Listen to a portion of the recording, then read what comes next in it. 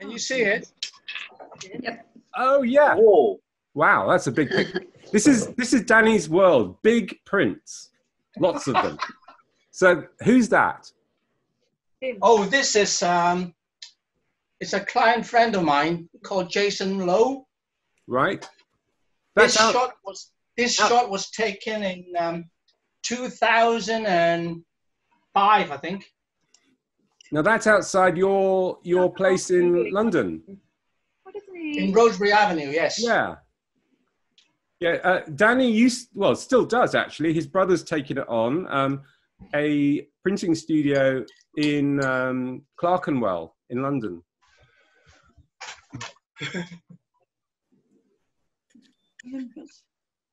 And that's inkjet. Now, No.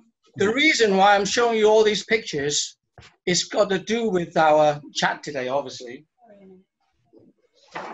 Let me show you another one. Okay. I I think we've we've pretty much started because it's half past. It's now ten thirty one, and we've got twenty seven people looking at your um, photos. Now that. Okay. So what's that? Can you, can you see it? Tilt it a little bit so we can get the reflection. That's right. I'm going to make I'm going to make you speaker view for a moment, and we can see that's that's a bit more clear. Okay. So tell tell us a bit about that one. Right. Let me let me walk it forward because it's relevant to our chat today. All right. There. That's a size. All right. Yeah. The reason why I make all these big prints was because a lot of people ask me the same question. How big can I go? I mean, this is a small print. That's a small print. Yeah. So what what size is that? Um, this is 30, 40, roughly. The other one, the other two, are 40 by 60 inches. And are those inkjet or or uh, lab prints? Yeah, these are these are inkjets. Right. Yeah. Okay. Okay. Fa- fantastic. Now you're The, the very first one you saw there, that was shot on a six megapixel Epson RD1. Oh yes, I remember the RD one. Yes, with an APS sensor. Yep. The second one I showed you and the third one was shot on a one inch sensor Nikon V1. Yeah. Yeah. That was printed as a JPEG. It's straight from a JPEG. Yeah. Yeah. Your What internet want- is a bit jumpy, uh, Danny. I, I um I don't know whether anything else is going on in the background, but um it's a bit jerky. But but don't worry, we'll we'll we'll we'll uh, we'll continue.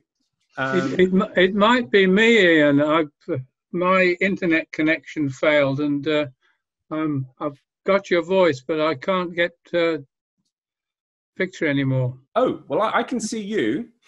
Um, it's it's if if Danny's jumping around, it's more likely to be him. Uh, it, it's our individual connection. So, but I can see you perfectly. In fact, you're filling my screen at the moment. Oh, I'm sorry about that. No, but I, that's I fine. can't. I can't see you, and I don't know how to get back to you. okay, so bottom left, can you see? There's the microphone and the video symbol. Is your does your video symbol have a line, a red line uh, stripe through it? Uh, I, I haven't got anything bottom left. I'm, I've still got the screen when prompted select yes. I haven't got beyond that for some reason. Okay, try. uh, Are you using a PC? Uh, laptop. Yeah. So try moving the mouse around. You, it might reveal uh, some some controls at the bottom. Uh, No. uh, Andy. I don't want to hold this up. I might have to duck out of this. Is there any way you can invite me in again? Uh, Just, well, just, just if you just exit the meeting and go back to the e group and click the link to enter again, you should come in. You Yeah, don't need to be invited again. Just go back to the e group, click the link, and you should come through the Yeah. entry process again. And I'll watch out for you in the waiting room. and, and Right. wait, uh, oh, is there is the waiting room on, or have you just let everyone in? Because I didn't let anyone in. Um, in case you haven't got the waiting room on, Yeah. so no, you Yeah. just let everyone in. Yes. Okay. So, Peter, try that, and we'll see you again in a few seconds. Right, I did try that, and uh, it just comes through to download and run Zoom. That's as far as I can get. Well, you you're still there, so you didn't. You obviously didn't close the connection down in the first place. You actually Mm. have. yeah. I think you just switched your camera off, or uh, no, switched the the view off. Um, Ian, if I could, could add at this point, if you iconize your Zoom window, it, um, unless you change the default setting, it iconizes to the system tray thing and not the bottom bar. Um, I managed this by mistake and had trouble getting back. You actually have to click on um, the, the, the little up arrow to the right on your bottom bar, and it might then show a Zoom icon which you can click to get back to everything. What So I'm going to do, what I'm going to do is I'm going to close down completely and try to get right back in from scratch. I think that's probably the best thing um, because you can't see the bar at the bottom at all, can you? No. No. Oh, wait a minute. Oh, So, suddenly I have you. oh excellent. Suddenly I have you. Brilliant. Okay. Well, let, let, let's make a formal start now. So, what I'm going to do is I'm going to give you a little bit of background information about Danny. Um, so, first of all, Danny is located in Hong Kong, and he's been you've been there now for uh, nearly 10 years, haven't you? Oh, Danny's Danny's muted, but Danny, you've been there for nearly 10 Um, years. Uh, I moved here 2006. It's almost four, 14, 14. years. I can't believe that. It seems just like yesterday. All right. Yes. Okay. So, but Danny actually came over to the UK uh, uh, as a as a toddler, basically, weren't you? You were a small child. Uh, I was 10 when I when I Yeah. moved when I Okay. n- Not not, you know not, immigrated. not quite a toddler, and and your family eventually settled for a while in Sunderland. That's And- right. And it's it was a typical scenario. You, your mum and dad ran a Chinese restaurant. You moved to London, and when I was working in Haringey uh, at uh, a camera store that I managed back in the late 80s, you lived just down the road, and you used to pop in and rummage around in the shop. And uh, I found out that you were uh, uh, developing your skills as a, as a darkroom printer and enjoying your mum and dad's cooking at the same time. and then all yeah, my I mean, I, I studied photography in Newcastle. right? Um, I passed my uh, City and Guilds and Northern diploma. Um, we, we, we moved to London because there was a recession up, up in the north um, where the steelworks and shipyards were closed. yeah. And we got no choice but to um, know, move to yes, London. Yeah. So, so the, the story starts that um, Danny and I were just basically friends through through the fact that I, I was working. Um, I mean, I, I, I wasn't. I, I never intended to work in a camera shop, but uh, for various reasons, after, after university, that was the first job that I had, and um, Danny and I just became like uh, you know stepbrothers. You know, it was it was it was just something which was very personal. We we always we could always talk the hind legs off a donkey, you know, wherever we met. And most of my friends got to know him really well. And uh, uh, but the story went on and on and on. So Danny developed his business. He became, you know, he was just a he was a master at black and white darkroom printing. So he had clients like you had the British Library, I think. Um, I was I was subcontracted by the Hulton Picture Library, yeah, which was owned by the BBC at the time. yeah, And then from there on, I started my own darkroom. My client list includes the, um, the National Portrait Gallery, the Photographers Gallery, Magnum. yeah. You know, before before the photojournalism died anyway, I basically I print for the Fleet Street Yeah, photographers. that, that's right. Yeah, and Yeah. and so basically, I can remember, I can remember your service desk. People were coming in with rolls of film, and they were they were collecting uh, uh, archival and studio prints. Well, I was the only I was the only darkroom, um, pure black and white darkroom, that were able to offer a four-hour turnaround developing and processing yeah. and contacts in four hours and because I, I um, I have to say that that was the time when I really worried about your health because you spent 18 hours a day in the darkroom with all the chemicals and you never saw the light of day. Your, your skin was white. um, so in, in, in a way, digit, the arrival of digital kind of saved your life because although it, it, it threatened your business overnight because obviously the darkroom business was killed off by digital you Yes. had already you had already foreseen what was going to happen and you spent a I think I, I think I just got lucky. I, yeah, I, you know, no one can foresee what the world's going to be, but you know, I, I believe we are just a product of uh, of the character that we play. You Yeah, know, yeah. um, I have no idea why has why I have such a love for computers and for digital Yeah. imaging.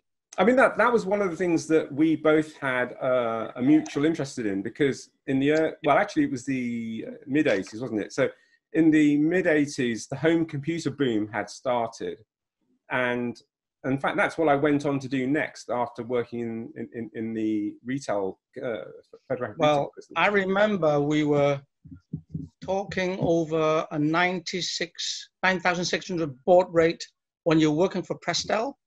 No, no, it wasn't even as fast as that. Uh, originally, it was 1200 by 1200. 75 bits per second. Just think now, I have a 200 megabit connection, and you, you your building has a, a one gigabit connection, doesn't it? So, Yeah, yeah, yeah. yeah. So, but basically, I I like to allow myself a little a little bit of credit because we, we, we both kind of encouraged each other. You encouraged my photography, and I encouraged your computer interest, and and because of that, you were prepared. You, you'd already done a lot of messing around with digital imaging when the when the digital imaging boom happened, and so you were able to jump straight in. Nobody Yeah, else. I was, on that aspect, I was years ahead of the pack, as it were. Yeah. Um, it was back in, um, I believe it was in uh, ni- around about 1997 when customers start asking about, you know, scanning and retouching. That's even before the uh, the whole of the industry moved over. 96, yeah. 96, 97. And at that time, retouch station cost between quarter of a million pound to a million pound. Um, but I was working with a, a homebrew, homemade um, PC workstation, which costs um, around about fifty thousand pounds. That's still a Um, lot of money. Yeah, but it's not as not as much as a you know, you know, quarter of a million. Um, I was able to charge people eighty pound an hour instead of five hundred pound an hour around that around that time for retouching. And I didn't know what I was doing, but I was gradually just just be, you know out of interest. And people just say, "I wish I can retouch this or retouch that," and I said, "Look, you know, give me a try." And they were they were giving me files and basically that's how i that's that's how i got started and so by the time when um, john tarrant of of bjp british journal of photography found out you know um, about me that was through the uh, association of photographers um, there was a annual competition um, me and another photographer called ben wood we entered some um, A3 plus prints and we won that category. I think it's still live category. Uh, I think it was 1997. And there wasn't even a name um, for retouching or printing. So they credit me as uh, system operator. And that's when John, he, uh, he, he rang me up. He said, how the hell do you actually learn digital? Because around that time, only very big labs can afford to have a, a retouch station or retoucher in-house. But I was all, already then offering the, uh, the service. So you, you basically found a niche in the market and uh, I, I, had a kind of similar uh, experience because uh, I was an IT journalist by, by that time, but I got approached by lots of photo photography magazines who had nobody who knew anything about digital imaging. And of course, they needed to write articles about digital cameras and things like that. So we, we both had a similar kind of experience that digital imaging became a new life for us. And uh, yeah. Um, so, I mean, just just to just to hasten on the the introduction, um, uh, you you were a master black and white printer in the darkroom, and then you became an expert in digital imaging and uh, digital printing. And what one uh, and you started off being a specialist in printing black and white from digital. Uh, and again, this was another black art, wasn't it? Uh, uh, um, because getting, I, I, don't know whether anybody else here has tried to print black and white on, on an inkjet printer, but it's very difficult to make that print look like a black and white print, uh, a conventional print, the deep silver blacks, uh, the silver oxide blacks. And, um, um, but Danny was one of the first to realize that by color managing your system, uh, not, not just screen, but the printer as well, using profiles, um, and selecting the right kind of inks and the right kind of papers, you could then create uh, uh, inkjet prints which were almost indistinguishable from um, black and white darkroom prints. And uh, they, were they were able to, even under different lighting conditions, um, uh, there's, there's that very technical word that, that we used to talk about a lot, metamerism, uh, where even if you've got um, a black and white print which looks great at first, if you then change the lighting, suddenly it starts to look like a, you can see its color. Uh, but if you get it absolutely right, then this black and white print uh, will look black and white no matter how, how you illuminate it. Um, well, it's down to the new um, ink formulation now. In the, the, the, very first generation of pigment inks, there was a lot of um, metamerism or metamerism, depending on how you're going to pronounce it. Um, it was from the second generation and third generation, which they more or less ironed out that shift between daylight and you know um, tungsten or fluorescent light. Yeah. So um, actually, Henry from Kuala Lumpur, are you still there? I can't see you on my screen. Yeah. Okay. Henry has a question about profiles, haven't you? Right. You need to put your microphone on. Okay. No, no, I'm not on uh, profiles. Well, actually, it may not be my direct question because I did ask before is that uh, I've got the Spyder on my screen and I have got it calibrated. Then I've got the Spyder uh, print and I still can't get anything right between what I see and what I print maybe oh, it's because I'm using it wrong, or I could have been I'm doing something that's not correct. Well, th- th- what's this, your advice? This this was Danny's bread and butter for many years. Um, he he was able to get other. Obviously, eventually, other people started doing their own printing, and uh, so uh, his exclusivity wasn't there anymore. But he then found an, a, another niche was uh, he had all the expensive equipment to do color profiling for for people's setups. So people would um, get their printers profiled. Uh, they would print out uh, test um, test sheets, and he would then analyze them and then provide them with the uh, the file, uh, the ICC or ICM file, to to properly set up their their, their, their printer. So so so Danny, um, do you think you can help Henry? Yes. First of all, obviously, I think the equipment that you calibrate your monitor with is very important. And one of the most important calibration for the monitor, um, forget about laptops. I'm talking about a really nice IPS twist, you know, monitor where you got good color depth and um, you know bit rates. And on top of that, you most of the uh, calibration calibration software would ask you to use I think brightness of 120 or 140. But I, I, I set up mine on 80. That is below the CRT recommended of uh, 100 brightness.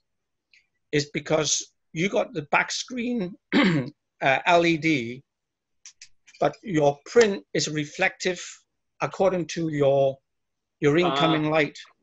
So your, your viewing condition has to match I remember when I first did color management, the very first customer I supplied a profile to, he called me up and he said, "Hey, Danny, your pro your profile is shit." That's exactly what he said, and and he was uh, he basically after when I finished work one day, and I said, "I'll come up to your you know to your to your place and to see what happened." I went into his room. He was working in a completely black room with a tungsten bulb. Now, you know, you know, when you calibrate your screen to 5,500 Kelvin, but you view it with a 3,300 or 3,400 or 3,000 Kelvin bulb, obviously there's going to be a massive difference, isn't there? Mm. So every step of the way, you have to tell people from the calibration of the software all the way to the viewing condition, it has to match. Um, but no matter what you do, I mean, I used to have a showroom where I have a 4,000 Kelvin light source, 5,500 Kelvin light source, just to show the print against the screen in an ideal, you know, that's in an ideal viewing condition, but you realize most of the homes and galleries, they have so very temperatures. I mean, your normal daylight is 5,005 to 6,000 Kelvin, and overcast can easily be go to 9,000 Kelvin, which is very blue. yeah.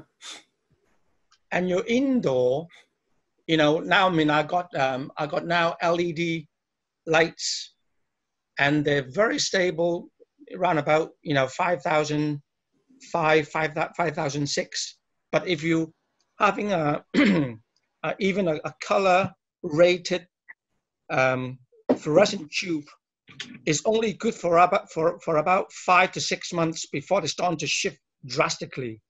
So under those circumstances i no longer do that anymore.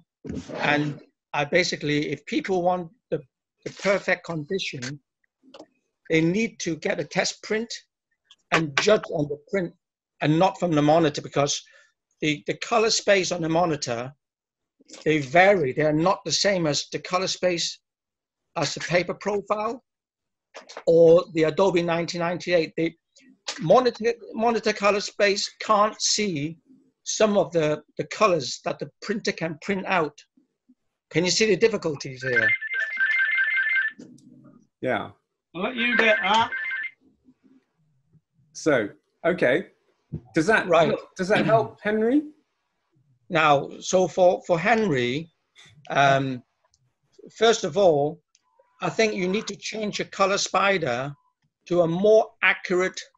If you're going to make your uh, screen profile, but you still need to do your paper profile, that means you need a a more accurate and better software. And I think X-Rite, which they, they, they, bought the technology from GretagMacbeth, and they still have the best technology for the for the best black and white, um, you know, profiling.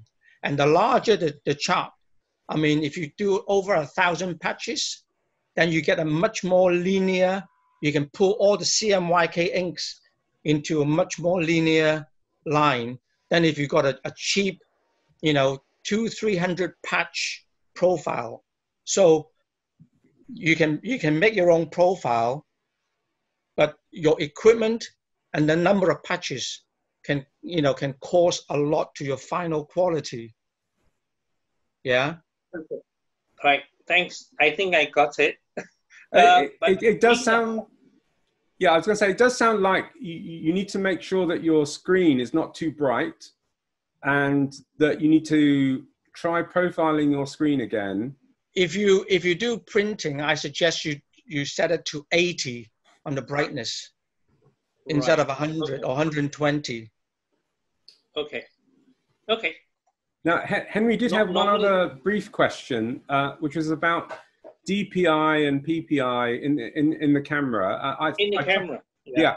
So my, I think I explained it correctly, but basically DPI or PPI settings in the camera are almost irrelevant when it comes to printing because you're you're sizing the print according to um, the paper size, and the pixels will just fit um, according to how you you set the output.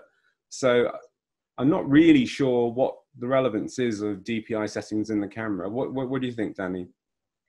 Well, DPI for me only works with you know dot gain if you if you actually in the printing press business. When it comes to dithering in inkjet printing, the only thing you need to care for is depending on the the, the, the print head resolution that you're using. Say for instance, Epson. I mean, my, my latest printer, the um, the P2, the P20000, which is a 64 inch printer, it has a native DPI of 2400 by 1200. The last generation has got a native of 2880, right? Now, people don't realize this. Um, I've been printing with a rasterized image processor, a commercial, it's, it's called a RIP software, and had a, you know, it has a much better um, algorithm engine built in. I mean, I pay eight grand in terms of pounds for this software to run my three machines, okay? And you, you say, wow, why pay so much? Now, from the days before I used the, uh, the RIP software, you'd be lucky to get a six megapixel print up to A2 without seeing the jaggies, right? And also, I um, there was I learned from from mistakes. There was a customer, she wanted 90 centimeters square print, and by the time when I did everything and she got a print, I didn't measure it. She came back and she said, his measures, you know, uh, 90 on one side, but was 89.5 on the other. right? So, what caused that? And um, obviously, you know, I'm a perfectionist in a way. So, you know what I found out? It was, I never set the, the print DPI, I just left it whatever it is and just bung it through the system. Now, on a desktop printer driver, if your printer have a native 1440 or 2880, ideally, you should set it to either 240, 360, or 180, depending on the, the size of print you're going to print. That means if you divide that into your printer resolution, you should end up with a zero at, the Yeah, it's, and, a, it's a multiple. end. Yeah. right? So the calculation will be perfect. Now, with a RIP, you don't need to worry about that. I can bang in 10 different images with different resolution. The RIP will sort it out for me, even on the same page. And, and that still holds true even for today's desktop printers. So, you know, people, I mean, and also I've tried printing at 300 DPI, 600 DPI, 900, 900 DPI, you know, in the old days. Once you pass 300, you won't see the quality in in the desktop RIP software. Okay. The, des- the, the, de- the desktop driver. So the only thing you can improve your your prints now is at 100%. You know, after you do your sharpening, it's your resolution.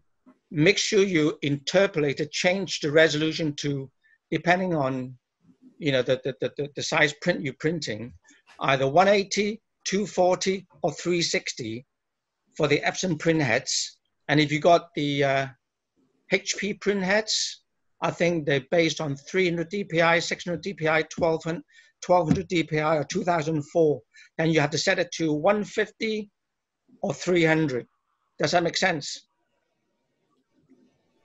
I, Henry, No, I, I think I, I I have a feeling that we're going to need some kind of printing printing session because this is getting very deep. But um, but that, Well, that it's, it's pretty simple to me. well, all right. Uh, and, and to me, because I, I've done a lot of it myself, but but I, I can imagine that for a lot of people, um, some of whom may be listening in, um, that's pretty deep. Um, but one, one one thing is pretty clear is that not many people print anymore. Um, uh, Right. now, I did have a question from somebody uh, who was sending, wanted to know how. To, Ian, sorry. Yes. While you're thinking of that, I'm just going to comment on that. You you were talking about the PPI in the in the camera. Um, nobody here will get this wrong, but I have seen it get spectacularly wrong when you drag an image into PowerPoint and you've got a high PPI set in your camera. You get a nice small picture. So I went to an event where somebody was showing a, a slideshow, and they resized up all their images because PowerPoint had put a small picture in the middle of the screen. So they they they doubled and trebled the size of their images. So their PowerPoint presentation was about four gigabytes, and uh, it wouldn't ru- it wouldn't run on the laptop that was provided. And I ended up sitting at the back, resizing all their images down, and then changing the PP, the, the DPI and sucking them into a new PowerPoint presentation on my laptop. Uh, so people can get it spectacularly wrong. Yeah, absolutely. Uh, um, obviously, when when you put uh, an image into Photoshop and you resize it and things like that, then I suppose you you can change the, the DPI, PPI. In fact, there's DPI and PPI. So D- DPI is really about printing, um, and I think it, as you said, it originated with um, uh, printing presses, didn't it? Um, but there's a dots per inch, which is the printed dots per inch, and then there's the printed pixels per inch, which is PPI. Uh, they are different. Ian, can I just interject there? The, the main reason for the thing on the camera is because it, most cameras have the the ability to do direct print, so you can plug your printer directly in, which I wouldn't recommend. No. Um, so that is more about for when you're doing that kind of direct printing. Um, frankly, it doesn't matter a, a bean if you're importing uh, and then doing even the most rudimentary processing. Yeah. And of course, if you're doing uh, raw process, uh, raw photos all the time, it, it, it's even less important. It, you know, it's it's the same thing with with raw. People get worried about should I set Adobe RGB or uh, sRGB? Well, actually, it makes no difference because it's raw. Um, so you know, you you get those sort of things. The other thing I just wanted to quickly uh, touch on was um, Danny was talking about um, the software. You don't need to go completely to the eight grand mark. The basic software you have with um, a lot of these calibration tools is not terribly good, and it's about interpolation. You know, yes, you've got so many patches, but how do you interpret? How do you work out the colors in between? Um, and there are much better pieces of software, many of which are freeware that will interpolate a lot better and you know are very extensible for the number of patches and the target you're putting to. Um, the thing I would say though is they're not very user friendly. No. So if you're if you're not an IT native, if you're not very IT capable, I wouldn't recommend that. No. And, and Danny's been through all the pain of learning all that, haven't you? Well, I wasn't I wasn't happy with you know what you see, what you don't get. So yeah, I went through I went through and, and, and taught myself color management. And then eventually I become an agent for GretagMacbeth and actually went to the, the classes and um, become self-sufficient. So for for around about five years in London, I was a color management consultant as well. And you used to teach Epson staff how to use their printers and things, things like that. Now they're um, engineers and sales. They, they're not printers. That's why. No, no, that's true. Now, just, things are very technical at the moment. I do want to move on to the more anecdotal side of things in in future. So uh, let's get a few more technical questions sorted out, and then we can go back to being a bit a bit more more relaxed. Now, uh, Duncan uh, is Duncan here with us today? I can't see any. Duncan is Wanderer on, on, on the site. Everyone uh, is probably familiar with him. But Duncan sent me a, a message, which I think I, I, relayed to you. He was asking about, um, uh, I'll read it out. Can, can you ask him about basic settings for quality prints, how to control noise and masking, if that's relevant? My knowledge of printing is very limited, but I have a friend in Glasgow whose prints scream sharp, and I'd like to know how he does it. I'm tolerably happy with one or two prints I have I've done. I think he uses some service called Deadly Digital, but I'm not very familiar with that. But I'd like to know what to give the printer as a starter to get the best quality. Um, and he's actually provided a, a, link. I don't know whether you managed to. to yeah, but but but those the very small, um, the very small sizes I can't really see no, properly. Okay. Um, I mean, does he want to print himself or send it elsewhere to get printed? I, I think he he is using um, a third party printer, but he hasn't been very satisfied with the prints he's been getting, uh, or at least not compared to his friend. So he, right. he's basically looking for tips as to how to prepare an image to be printed because I, I think he's assuming that a print that looks good on the screen may not necessarily print well. Now, I think this comes back to screen well, doesn't it? I think you need to find a, a printer that works with customized profiles, and that means the result is consistent from time to time.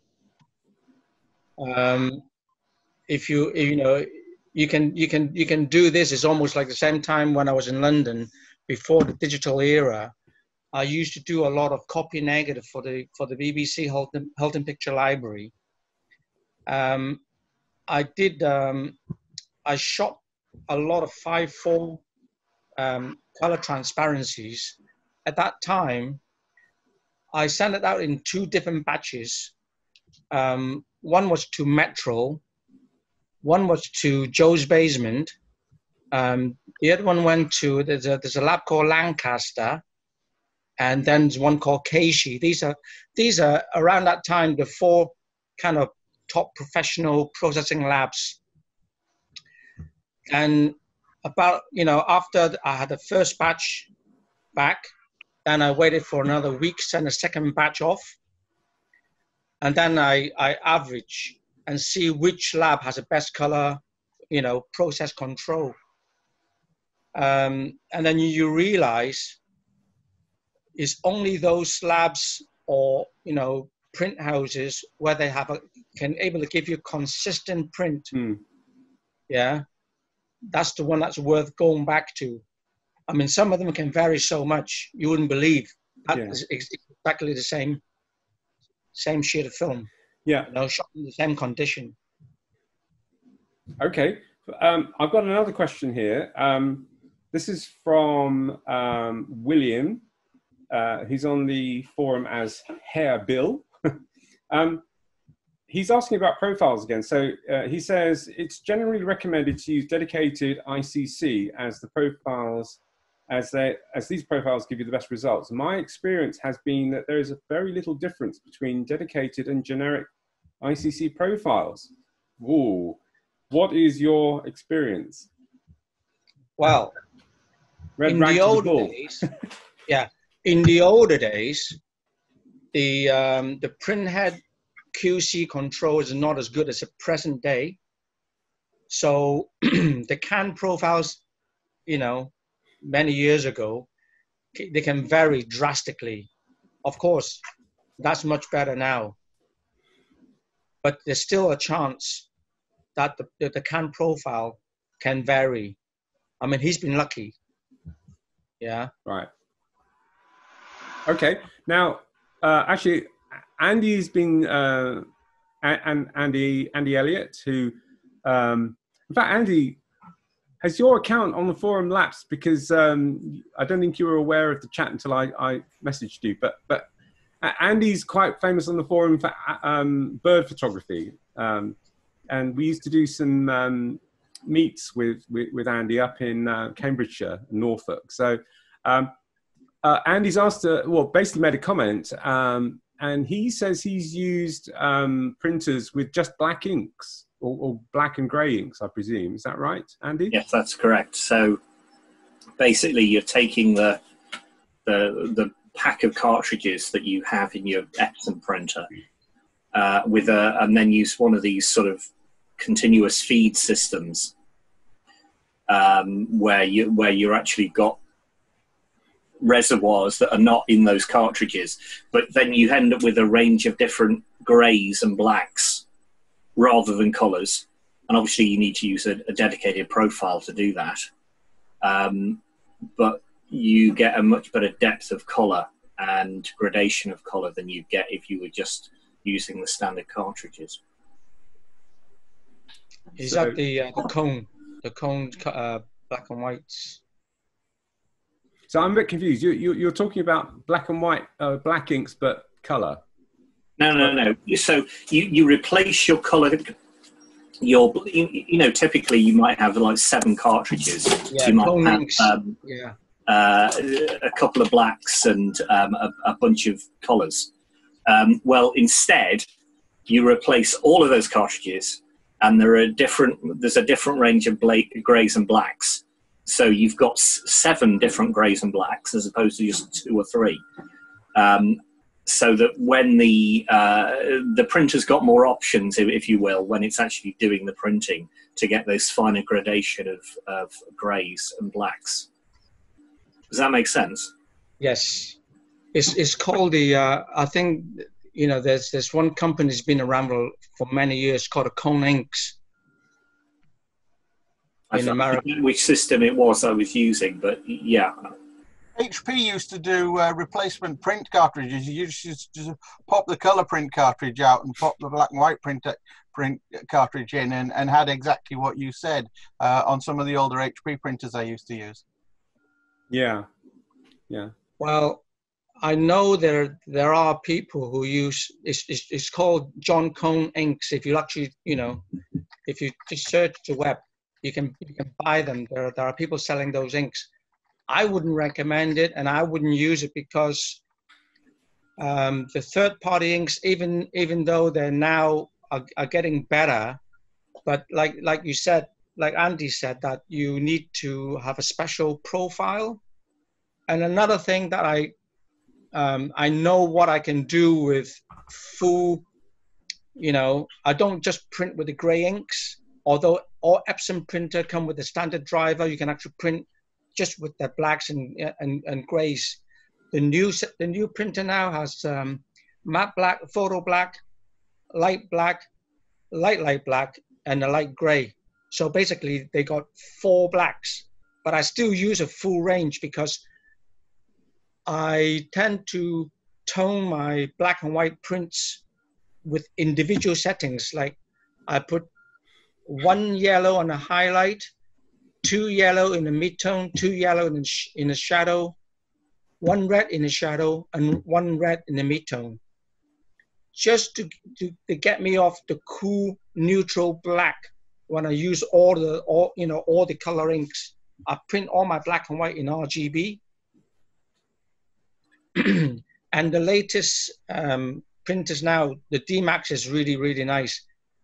And if I really want even a better black, then I had um, I got a new uh, Hewlett Packard Z9 that got even better uh, black density ink than the Epson. But that printer is um, is is not as friendly in terms of use, you know, when it compared to the Epson. If I if I really want to tweak, you know, really really good black and whites, and in fact I've actually compared to some print with that black and white ink system that someone that I know here use, and I can say my prints are much better, and I got far better color control than he can on those ink sets.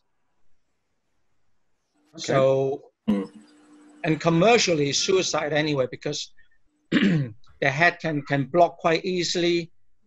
Um, because the you know these head that we use on the, you know the, the Epson heads they're very very expensive. This is run about on my new printer, which is less than three years old. I had three head changes already, and it's two thousand pound a pop.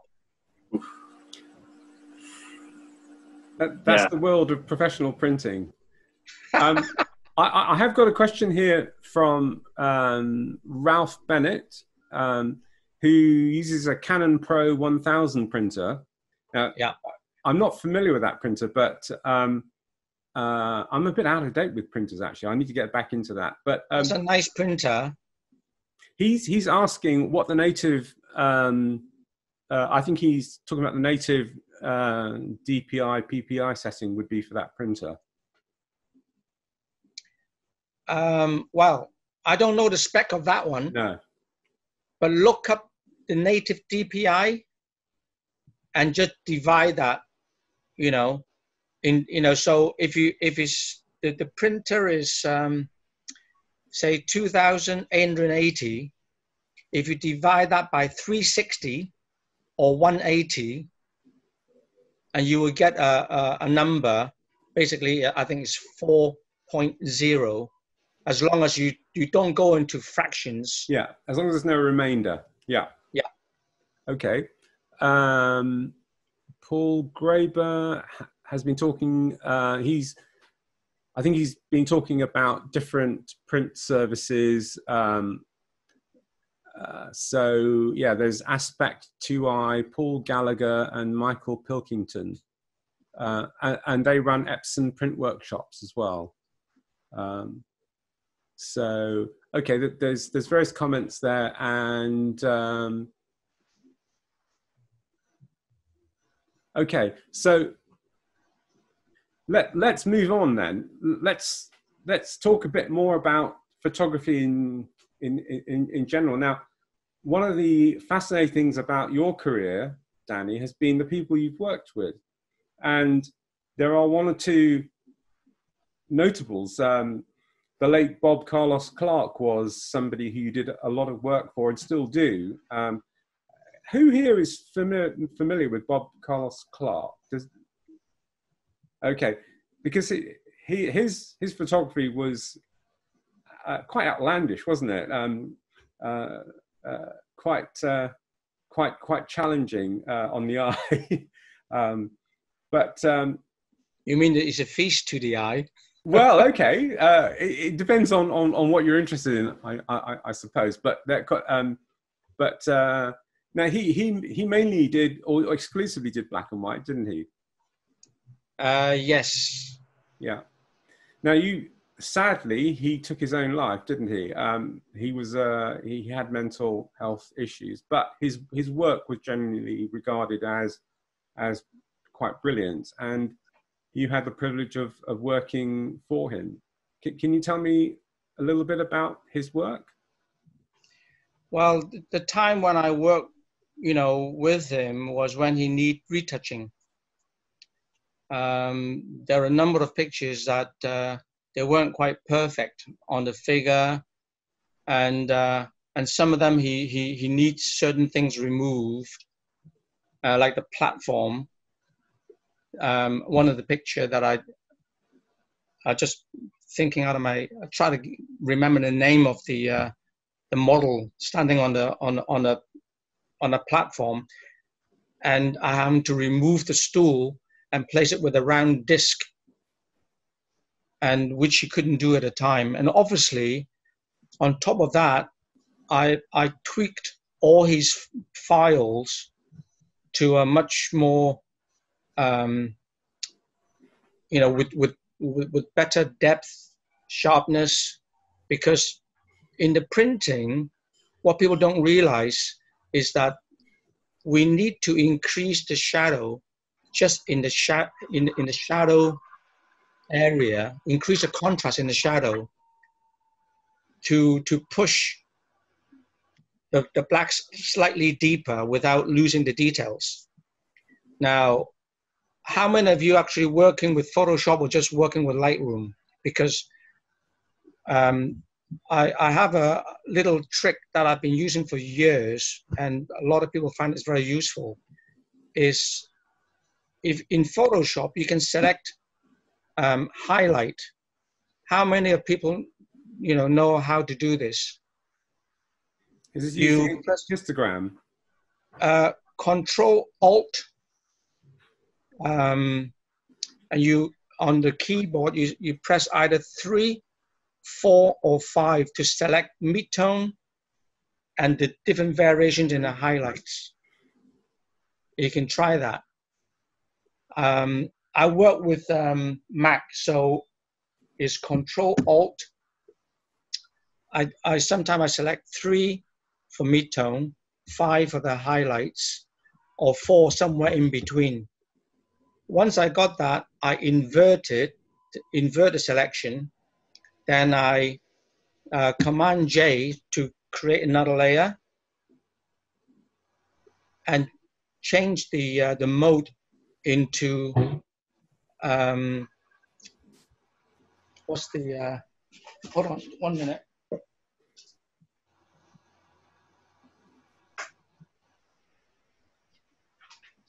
Yeah, into highlight. Um, basically, you in, you you increase the contrast on that layer, but you don't use all of it, depending on the density. So you need, need to use your eyes Hmm. to see. If you try that, you will you will see. Maybe I, I- do um I do a file and send it over to you. You can post it up. That that that would be really good. Maybe a before Yeah. and after. Yeah. Yeah. Um, and also, a lot of people don't look at the histogram when they print. And half the time, when you see the histogram, the histogram is somewhere like this, Hmm. or or with the highlight or push on one side, and the black are nowhere near black. And also, when you if you print with a profile, you should set to um, check the the black point compensation, because by by checking the black point, you're basically asking the printer to check where the black point is and use the, the, the darkest black within the, uh, the histogram as the darkest black. I, I, I mean, personally, I, I, I don't know about uh, everyone else, but I've noticed a tendency recently, both on on video and and on in in some prints of imagery which has no blacks and uh, oh, people, people do that deliberately yeah. for the styling. That's okay. It's okay but yeah, I don't know I, I like a good black uh, I like contrast personally but that's that's me yeah. Well, you can't apply the same rule to everything. So when I work with different clients, um, I generally ask them to see the rest of their work, so I know, you know, the kind of thing that they're looking at. So in I engage. in the end it's Yeah. what they want isn't it? it it's their creativity that you need to Well, I apply my knowledge to improve it even better. Hmm. That's my job. Yeah. I'm not. I'm not saying that you know I'm good at everything, but I know I can improve what whatever whatever file you're throwing at me. Yeah. The print that I make. Uh, do you have any other interesting anecdotes about um, photographers that we may have heard of um, uh, w- when you've worked for them?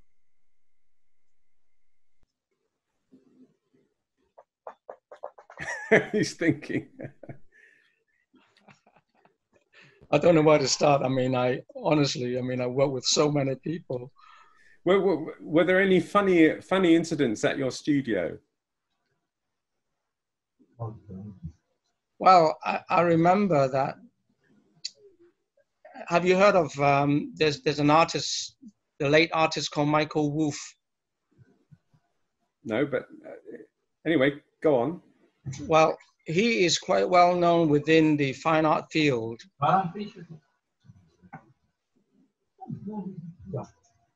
Go on. Oh, I just heard. I, th- I thought someone is talking. No, I, I think that was just something else. And um, well, with me is I look at what I do as a hobby rather than as a job. So he was introduced to me by another, you know, um, artist, and in our first meeting, um, we just talked about spirituality. Because you know he was talking about another photographer copying his work. And in my eyes he's already quite successful because i just literally just bought three of his books for my own personal you know um, because I, I i like the work that he did and by the time when we met and and he was quite um, protective you know towards his work and um, instead i just we just talked about spirit, you know, spirituality for like two hours. We didn't get into business, and we became the best of friends after that. That's good. So yeah, because when he when he introduced me to another um, a director in the Goethe Institute in Hong Kong, the first thing he said was, you know, that we we had a meeting, our first meeting, we just talking about spirituality. You know, that was the the thing that he still remembers. it's interesting how certain things will connect people, and those those connections can be can be long lasting. So, um, um, does anyone have a question for for Danny based on what we've been hearing to get today? Does anyone want to speak up? No, they're all listening rather than wanting to talk. Um, Sorry, Ian, I, I, I've, I've got a question ab- ab- about this this thing about blacks and how, and and dynamic range and how to cope with it. okay. Um, I've tried on occasions to print on a Japanese paper by a company called Awagami, um, which is a, a washi paper, and obviously that doesn't have the dynamic range. You're never going to get the blacks on that. Should one adjust the histogram to account for that, or should one just still get the get the, the full dynamic range and let it fall where it may on the um, on, on, the print? Uh, In other words, how should one adjust for that? Well, I think you need to do um, because it's only if the one. I mean, the paper that I've used, one of the most textured paper of washi paper, is only 55 grams. So it, it it can't absorb a lot of black ink. So what you need to do, you need to do a like um, a density chart and work out. If you know, it's like a you know a little block at a time. So, like an old test print on a on on a yeah, exactly, exactly the same, and see how much ink it can absorb. I mean, on thin paper, uh, on my RIP, I'm normally having to set sometimes the ink limit instead of 100, I had to set it to around about 70 because, you know, if, if you flood the paper with ink, all you get is just, you know, just wavy black. It cannot ever dry flat. Yeah. And can, can I can I set that level of that, that that level? I mean, you're obviously with using RIP software, you can set the level of the the, the those levels, but you can't within Lightroom or, or Photoshop, or can you? you may be able to do it on the driver. And if you can't do that, then you might have to do it on the file. You have to limit your ink on the file. Okay, so you use a use a grey rather than a deep black in the- Yes. the actual file. Yeah. Yes. And you might you, you may need to modify your, your black as it were Yeah. to, to suit the paper. Okay. Thanks very much. No, you're welcome. Is this something? and, and also make sure that on the highlight, I always, I never, uh, you know, I always have, um, I always print my highlight right about 250. Some, check your histogram Yeah. on the right hand side of your, of, you know, on the oh. highlight. If you go off the charts, go on to the input in your, on, on the levels. Instead of 255, bring that back into 251. Yeah. So even if you got a white edge, that will print out as a as a, as a gray, just one percent gray. Okay, so that that that limits the um the range of the actual of the actual image rather than to to to to, to work with the, the paper rather than just print the print the image. Yeah, I mean it's almost like burning in in the highlights. Yeah. Um, I remember in the old days, I'm the one is you know I'm I'm the one that constantly used flashing the um, photographic paper. Yeah. You know when you got you know the the, the, the, sky is all blanked out. And sometimes when you you can you can try to expose it it wouldn't work very well. So what i've done is uh, I, I used to have um, a vivitar 283 flash gun. Oh yeah, I remember those. with a, with a card in front of it with you know basically it's a it's an exposed um, photographic paper. It's all black. I tape in front of it and I've, I've done a lot of tests until i got it right. So i literally hold it you know and then flash the paper which is already in the easel. And then i expose on top of it. Yeah. and by by using the 251 on the level that basically is a flashing for the paper. So imagine you print with a border you never get bleeding out of it And so you reduce the contrast, which was what the the point of flashing was in the first place. exactly Yeah. so you, you get you get a you know at the faint line yeah Yeah. Yeah. Okay. Thanks very much. you're welcome So I, I have a, a simple question about preparing images for sharpness before printing. Um, I read a lot about uh, images need to be over sharpened to print them uh, compared with what you see on the screen. In other words, when you, you prepare an image on the screen and get it to what you, what you like, you then should sharpen it a bit more before you actually print it. Now, It- the extra would be- printing, should it be just on the detail or is it the whole image that needs to be extra sharpened? it will depending you see sharpening is something that is so personal um, sometimes be honest with you um, i don't ever sharpen the images that i print for me uh, a good print is something that you feel you want to get involved with now, sometimes you see a, you print and say, wow, that's sharp. It's razor sharp. It stops you going into the picture. The way I print, I tend to print more organic because I'm, you know, I'm from the old, old school film school. So I don't use, I don't use unsharp mask at all. If I ever need to use sharpening, I use the um, high pass filters Anyone knows how to use that? I'm, Yeah. I'm pretty sure. You just use a very small percentage of uh, a contrast in the shadow area, but you you, you, you, you, can't overdo that neither because it can cause like uh, you know like a white edge if you if you overdo it. Yeah, well, I, I use Topaz plugins uh, with with uh, Photoshop quite a lot, uh, particularly the the detail plugin that I find quite useful because you can you can increase detail uh, in various parts of an image quite nicely with that. Uh, yes, the Topaz are, are very good software, but again, depending on the system that you use, and don't ever over sharpen because if you look at a, a a good print, you don't ever pixel peep on the print, or in the old days we called it grain sniffing, right?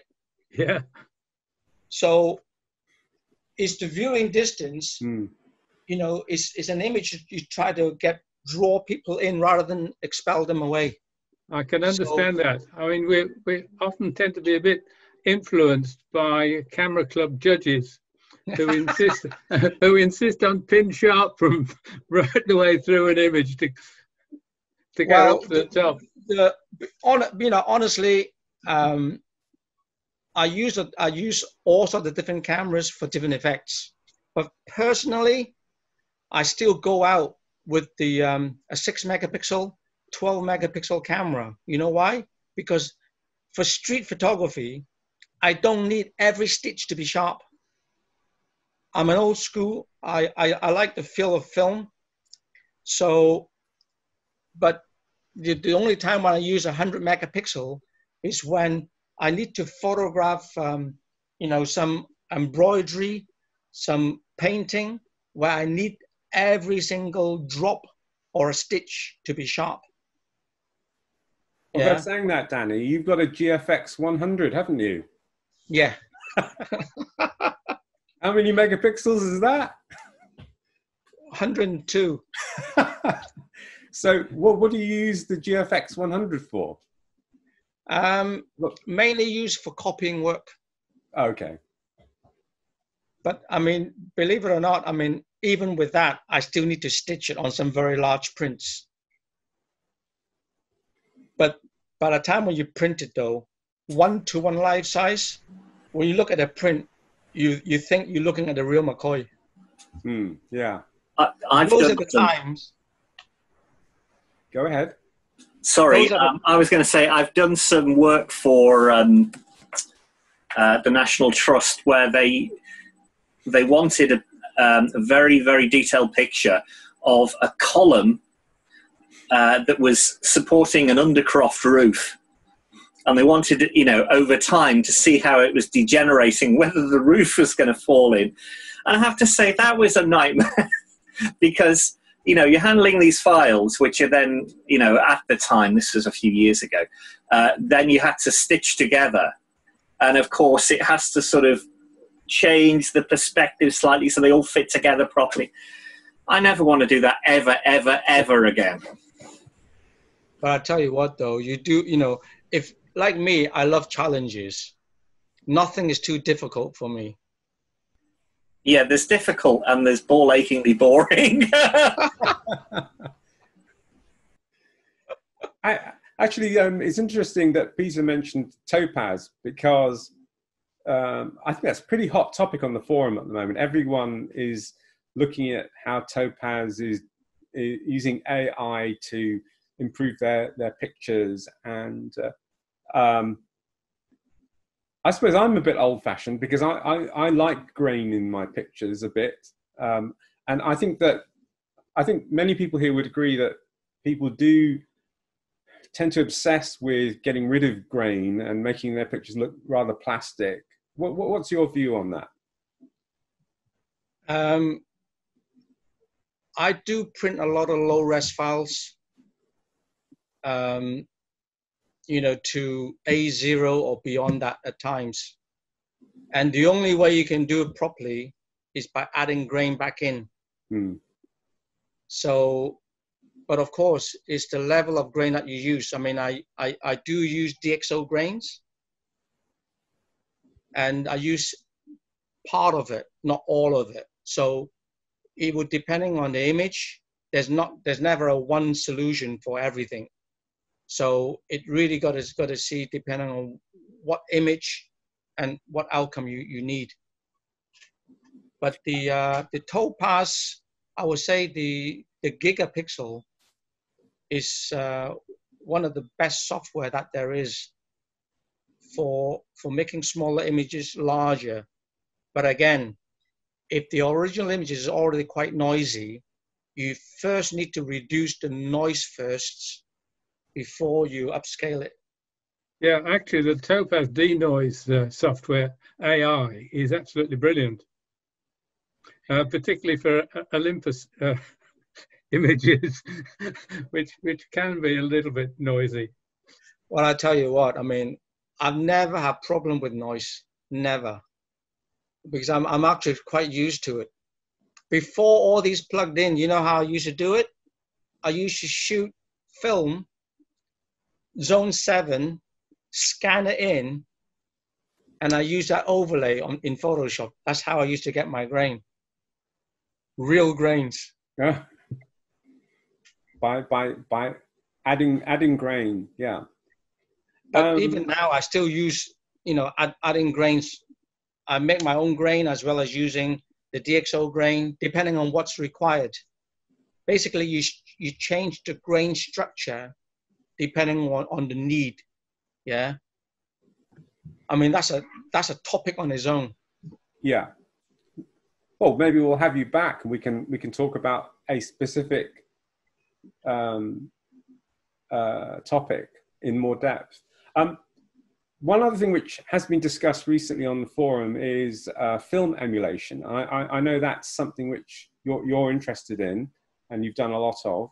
Um, in, in fact, uh, referring to DxO, there was a comment that DxO's uh, film emulation, uh, uh, I can't remember who it was, but he considered that to be not very good compared to something else, and I'm I can't remember what the other.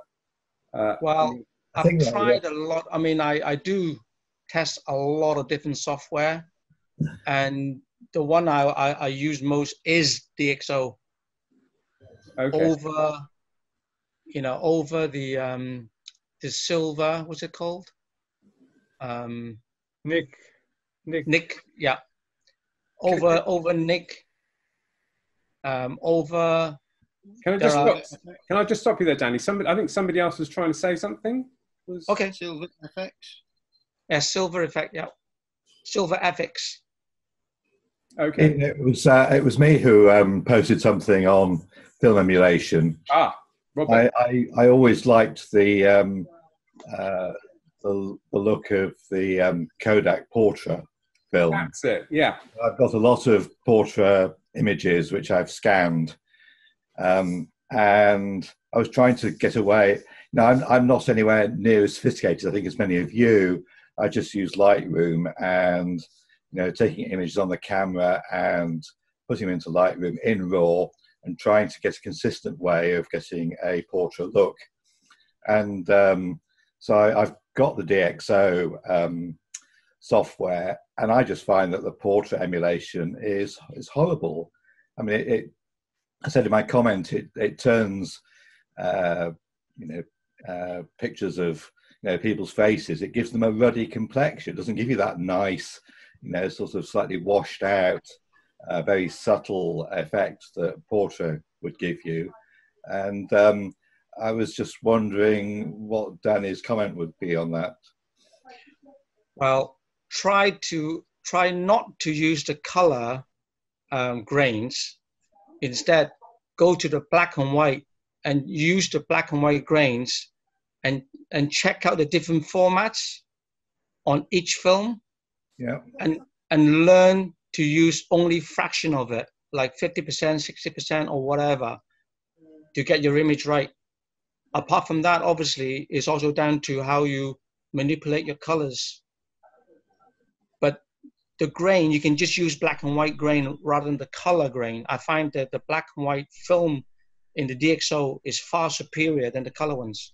Oh, that's interesting because I, I thought that as well when I was. I, I quite like the black and white effects, but the color ones. Yeah, hot. use the black and white on color.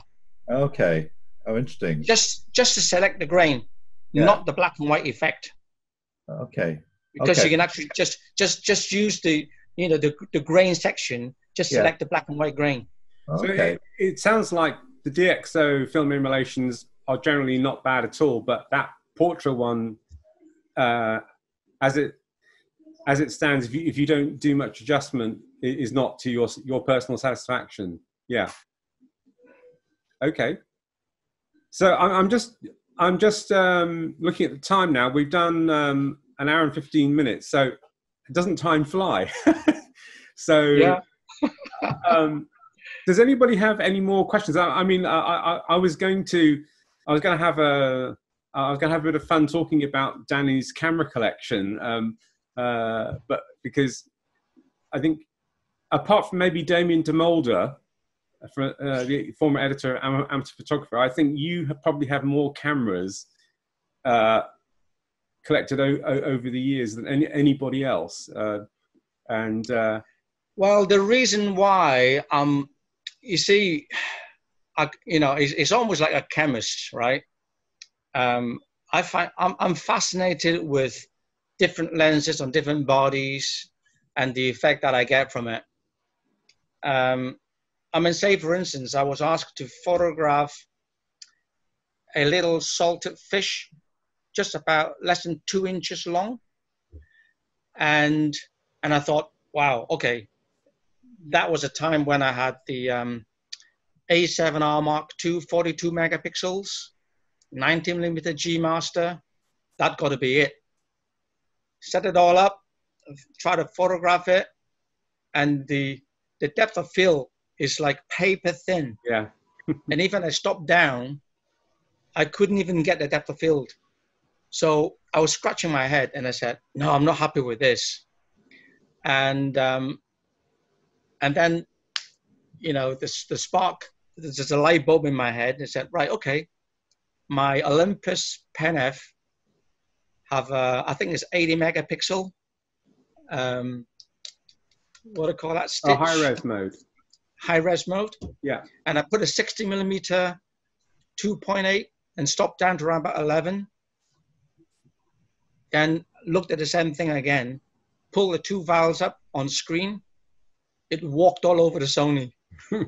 yeah, yeah. And the final picture end up printed eight foot wide. And it looked amazing. So that that puts paid to the to the I don't know the teasing that Olympus users get that uh, you can't make big files. Uh, well, that's why when when people, I mean, I'm also, um, you know, I go onto the Facebook GFX group, and they're talking about using GFX as a as a macro camera. I said, don't waste your money. I said, get yourself a an Olympus or a Panasonic Because- Micro Four Thirds because of depth of field. because Yeah, because the depth of field has to do with the the circle of confusion, isn't it? Yeah. I mean, that's why on a large format, f8 is considered like a 2.8 for the Mm. 35 mil, and you won't have diffraction until you stop down to like past 64, f64, because the aperture is still large, basically. But, but back in the um, in the plate camera days, that that- I think there was some kind of um, uh, movement which was kind of complaining about the lack of depth of field in in cameras in those days because of the the huge plate sizes. And uh, um, the only way to get depth of field to stop stop down. And of course that meant super long exposures and things like that. So um, and and, Well- and uh, uh, no who, who was it it was uh, Edmond Terakopian was was saying that um, using using Olympus kit, um, 16 megapixel uh, EM1, he had no problem in getting exhibition prints done to A A0. So uh, if anyone's still anxious about that, you know, just just don't be.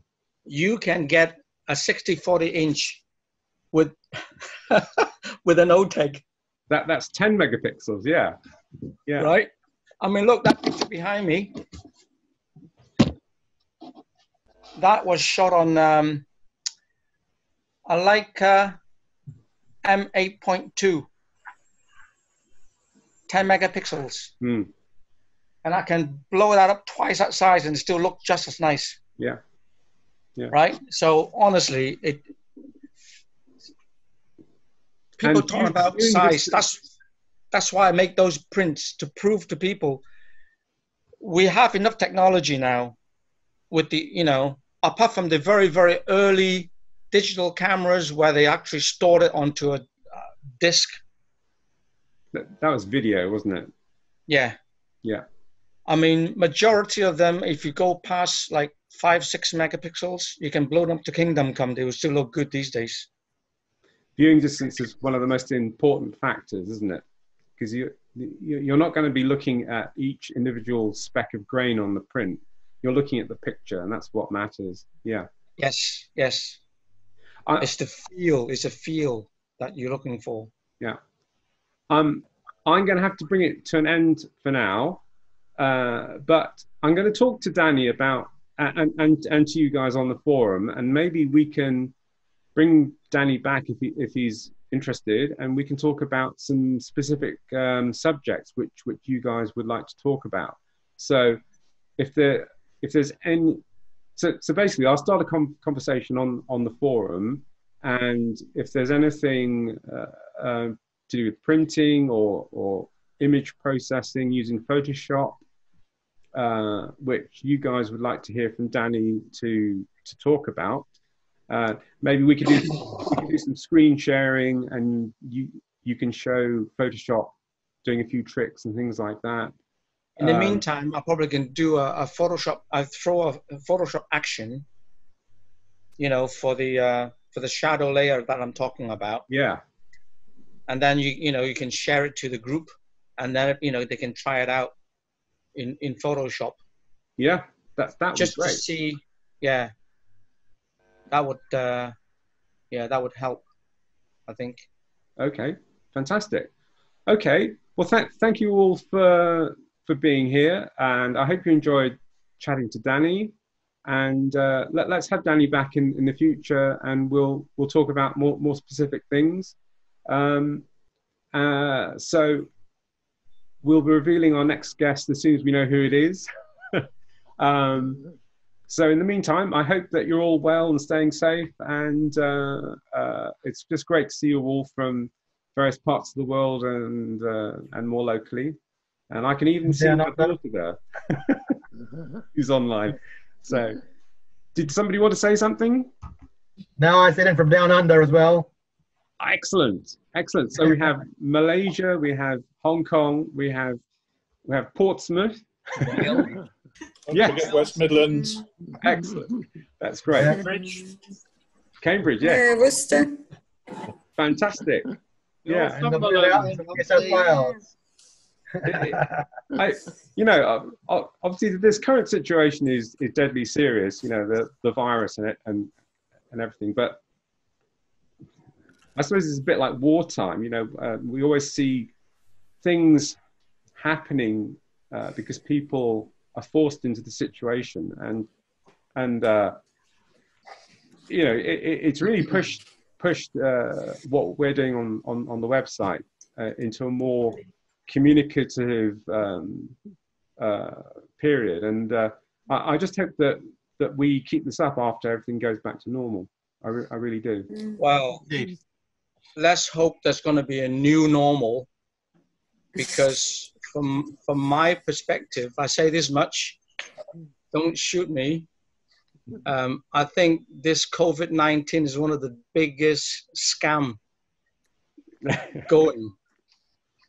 That's another story Yeah, well, maybe we'll talk about that another time. one, one of the things which, which uh, we won't have time to talk about, but, but Danny is a bit of a philosopher and he, he, he likes to look beyond what seems obvious. And uh, we, actually have lo- we are, sometimes have long discussions about that. But sometimes some of the things, uh, uh, I don't know, they, they, they, need a lot of um, you need a lot of latitude to to have conversations about well basically we are all consciousness yeah. being human. Yeah of course. Yeah. And we are not human to begin with okay. all right. Well that's that's maybe a conversation for for another time. I, I'm training for the priesthood, so uh, yeah, we can have a good good debate on that. yeah yeah. And, and andy andy would definitely like to have a chat to you about that. And i i, I know a few others but this is not really photography anymore haven't, haven't reached humanity yet either.